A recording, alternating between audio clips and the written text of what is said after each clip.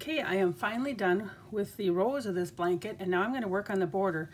And I'm going to show you, this is the side that I carried the yarn up the sides. So what I'm doing is I'm making sure that I'm working my single crochet around this edge here. Got my yarn tangled up. And all I'm doing um, is I'm putting about, oh gosh, about two single crochets per row, all right? So I'm right here now so I'm going to make sure that I go around these two pieces of yarn that are carried and I'm going to go right in between here, this star stitch, and you just kind of ease your stitches along the side. Be nice if I get it through all the loops. And then right here, I'm going to go again, so about two stitches per row. And you just make sure that you have all of your yarn pieces. Now here I have two more yarn pieces. So I'm gonna, my next spot, I'm gonna go into here. And I'm just working a single crochet. This is gonna be like my foundation row that I'm gonna work with. And all I'm doing is working around, and that's what I'm gonna maybe do about three, I guess, per on this row. There we go. And I'm gonna go right in this one here. And the next one. And just keep working around that, those yarn pieces and easing your stitches around. You don't want to get too close and you don't want to be too far apart either. But this doing the single crochet row provides a nice little row of foundation stitches to build the rest of my um, border on. So here we go, and I'm going to stop in a minute here so you can kind of see how it's starting to look. There we go, and I think I can place one here. And you won't even really be able to notice the yarn that you've carried up the side. So let's take a look here. So this is, it may not look like much right now, but you really, you cannot see the yarn that's been carried up the side. And here's my yarn pieces. So I didn't have to weave in all of this yarn. I'm just going to crochet over the top of them and I want to make sure that I have a nice crochet border that is a nice foundation for whatever else I haven't decided yet for whatever else I'm going to do. When I uh, work the, the single crochets I make sure in the corner stitch what I have not done yet um, I gotta move this a little bit because this is my starting stitch here. There we go I got stuck on the edge. Um, when I get to this spot here I'm gonna, each corner, I'll do three single crochet, which will help ease this, ease this around the corner nicely and lay flat. And then I'll do a slip stitch back into that first stitch where I started. And then I'll be ready for row two. So this is how you do your foundational border here, your single crochet, and then you crochet over your yarn that you carried up the side. Okay, so we're gonna show you how to um, work round four round one was a single crochet round. The next one was a single crochet. Then the third round was these V stitches. And then now we're going to do the fan stitches. We're going to start to create like an arch. And then we have, these are just double crochet stitches here and chain stitches and then single crochet and chain stitches here.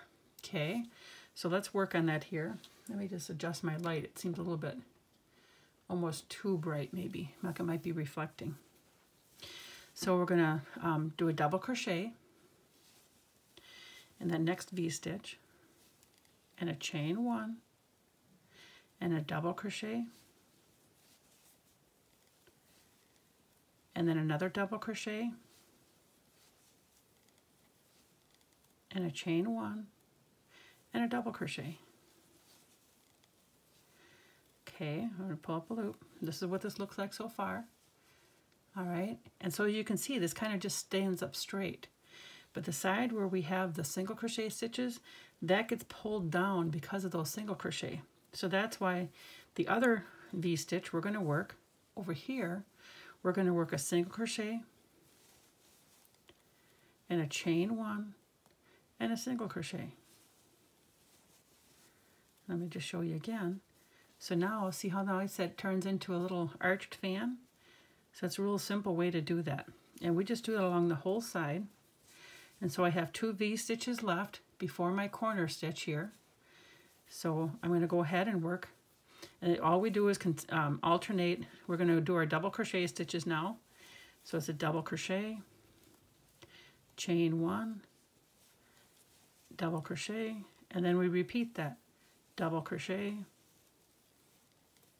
chain one, and double crochet.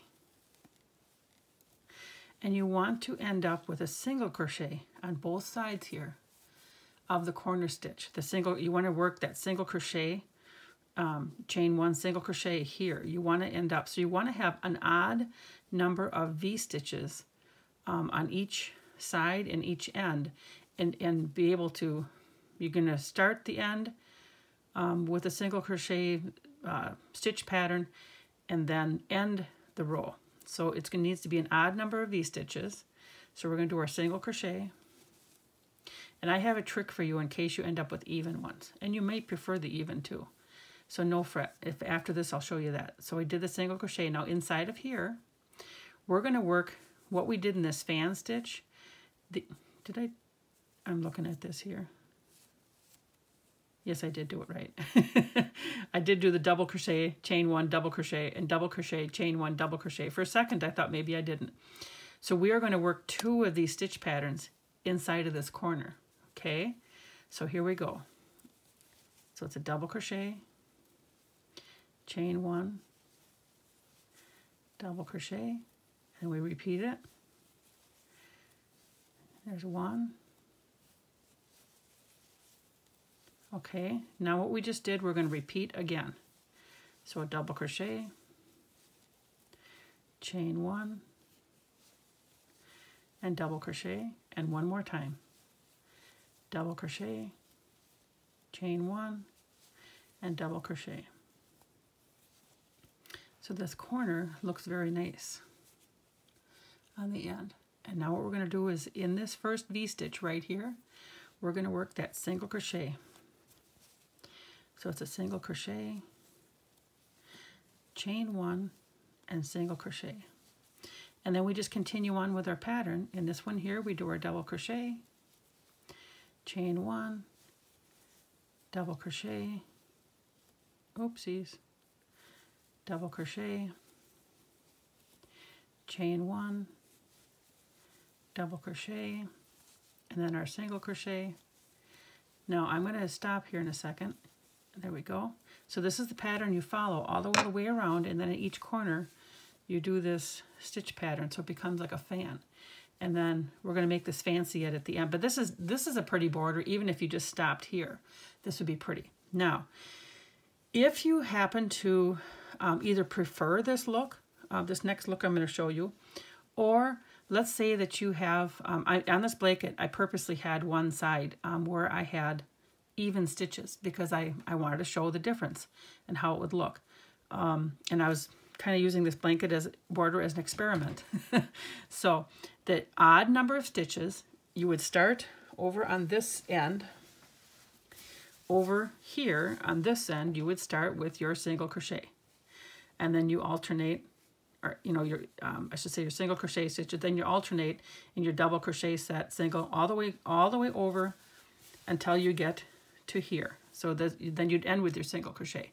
Now, let's say that you did an even number of stitches. Now I gotta find it here. Um, so what I did is I counted. And so I had 48 stitches. I ended up with 48 stitches of double, double crochet V stitch sets across. Okay, so that's an even number. So what I've done is in the 24th and 25th stitch, I did the double crochet stitches. So it's like a double fan. And then I put the two single crochets on each end of it. You see what I did there? Because then I ended up like I should with my single crochet at the end. So I'm going to turn my, and I got to find them again. Here we go. So I'm going to turn, when I do my, because I am going to do a next round, I'm going to end up um, doing something here to make it arch up even more on this in between the two of them to make it really unique. So we'd have that in the middle, and I actually think it's going to be kind of cool with just having that arch on one of the edges and not, um, not around the whole thing. So if you have an even number, you will want to add in the middle, this is the 24th V-stitch. So this is the middle V-stitch. So that middle one and the next one, you will want to do the fan stitch and then continue on with your single crochet set and then you're alternating because then you will end up correctly because I, you know, certainly I think we would want all four corners to match as we're working on this, okay? So stay tuned and I'm going to show you the next round as soon as I get that one figured out. I'm making this up as I go along. Okay, do you remember when I had talked about having one of the edges um, even so I can show you like how if you had an even um, number of V-stitches and you, I wanted you to be able to come out with the correct corner number of corner V-stitches so that you could make this nice rounded area. Um, all of my other sides that I've had, I've had an odd number of the V-stitches so that it comes out perfectly between the fan stitch and then the single crochet stitches. So this here, in order to have an even one come out, excuse me, um, I needed to do something special in the middle of it, which I think makes it really pretty and unique. Otherwise, the rest of the border, you know, just looks, I mean, it's beautiful, it's fine. It's absolutely gorgeous. Um, as you can see here, it takes five rounds to get this done. And um, this is the border. And so then this here, what I had was those V-stitches um, that I did the double crochet fan stitches with in the previous row. So here's what I turned them into. So I'm going to actually take this out. I wanted to make, I, have done a, a, few different designs to try and figure out which one I like best. And this was the one that I liked best. Um, so I'm going to show you what I did. So I did the normal, um, well, okay, I'll take, I'll go a little bit further here. All right, so from here over, this is the normal border, what I had been doing. So here is our um, previous row, single crochet, chain one, single crochet. So I'm gonna yarn over and I'm gonna do a double crochet and a chain one and a double crochet, just a V-stitch in there, right? Okay, and then here I've come to my two sections of the fan stitches right next to each other with no single crochet in the middle. That's what's missing, okay? So now what I'm going to do is I'll single crochet in that first double crochet and then I'll single crochet in the chain one space and then in the space that's between the two double crochets of the previous row I'm just going to work two double crochets. There's one, there's two. And then in this space, this is actually two double crochets and then a chain space in the middle. So right there in that space, I'm going to work two more double crochet. So it's really easier to achieve than it may look. I hope it doesn't look hard. Okay, then here is a space that's between the two sets of double crochet, chain one, double crochet, double crochet, chain one, double crochet. So here's that space that's between those two sets of the same thing. In this space, I'm going to work the two double crochet.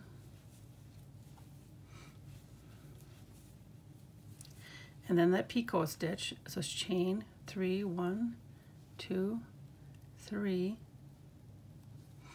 and then I single crochet, or I should say I slip stitch back down into here, that first chain space area and then I'm going to do two more double crochet.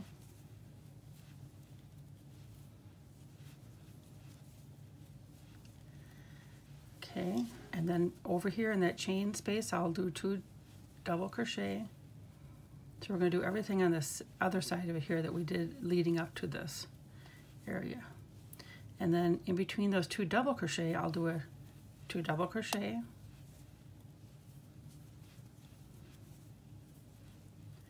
and then a single crochet in the chain one space and a single crochet in the last double crochet. And now we can just carry on with our pattern where I had been doing a double crochet between the single crochet stitches and the right in that chain stitch space, chain one, and a double crochet that's just a V-stitch. And then in the first double crochet space I'm going to do a single crochet oops and then a single crochet in the chain space. And then in between the two double crochets I'm going to work the two double crochets.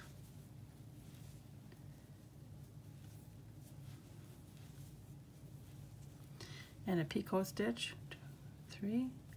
And then back into those stitches slip stitch. And yarn over and two more double crochet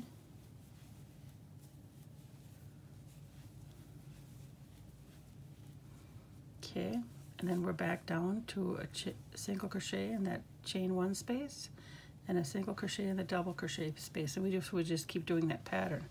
But let me lay this out again.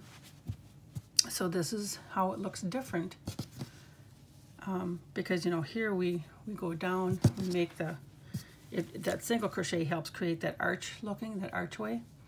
And then by just using some double crochets we're actually kind of able to make like a little crown area um, so this is how, if you have an even number of V-stitches in your border, you can add a nice little element here in the middle of your border. This is, I had 48 uh, V-stitches, and so then I, this was stitch 24, V-stitch 24, and this was V-stitch 25. So it's in the middle of it, so I kind of like made those into one, and then I had continued on with my arching of the pattern.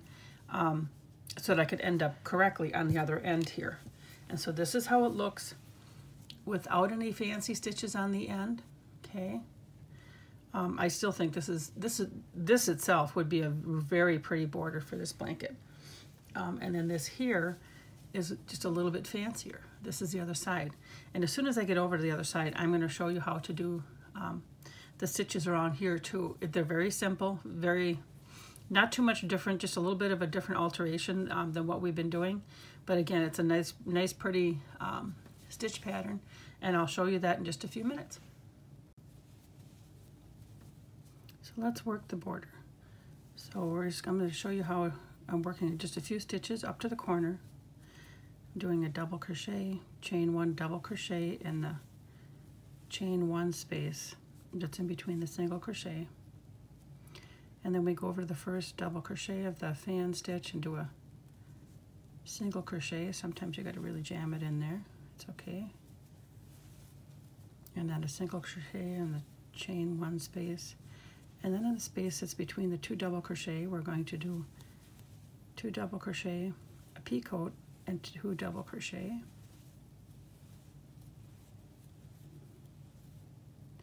There's three chains we're going to slip stitch back into that first area. And then two double crochet. And then we're going to repeat what we just did. But I have one more single crochet in the chain one space and then a single crochet on top of that last double crochet. But then we repeat. So a double crochet chain one double crochet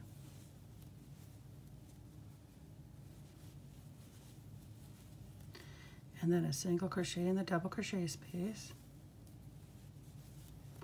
And a single crochet in the chain one space. And then a two double crochet. And a picot one, two, three. And a slip stitch back into the top bottom. And then two double crochet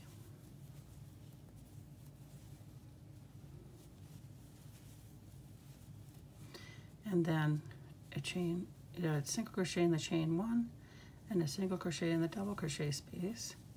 And then here's that previous row single crochet, chain one, single crochet. So we're going to do our double crochet V-stitch, which is our double crochet, chain one, double crochet. Then here's our corner stitches. And so what we're going to do is a single crochet here, single crochet in the chain one space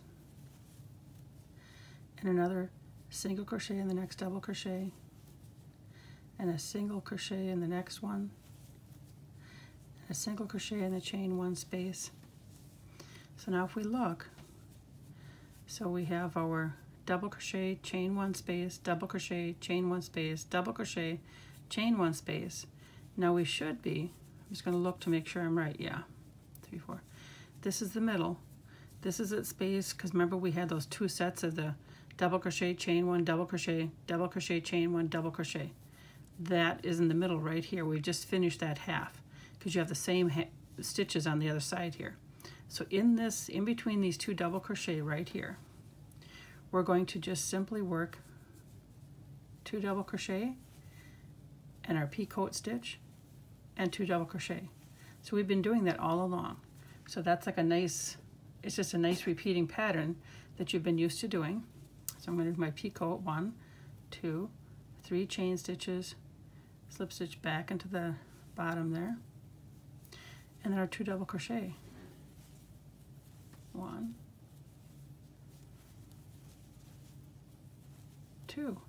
And then we're going to continue on with our single crochets in the chain one space, the double crochet, and the double crochet space, and then there's a chain one space and a double crochet space. And so now we're up to our single crochet, chain one, single crochet, and we work our double crochet, chain one, double crochet. Now we're just continuing on with our normal pattern that we've been working. So, and then we single crochet into that first double crochet stitch, just like we had been leading up to the corner. And I'll show you how this looks in just a minute. And then we have our two double crochet and our picot and our two double crochet. So here's a second, and then one, two, three, slip stitch, and then double crochet, and another double crochet, and then a single crochet, and one more single crochet, and then I'll show you. And this corner, let me just lay it flat because it gets all crunched up from me holding it. It's done. And there's the border. So it was, for me, it was, you know, just all you're doing is single crocheting around here with your double crochet in the center there and your picot stitch to bring that end to a really nice, lovely point.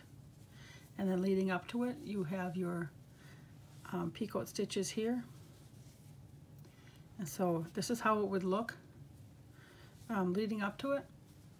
And you got your lovely corner. And then here is it without any picot stitches. Um, I still think that this is a lovely finish, even if we just went this far. Um, it's a really lovely finish. So I'm going to finish up my blanket here, and um, I will get the pattern posted on my website.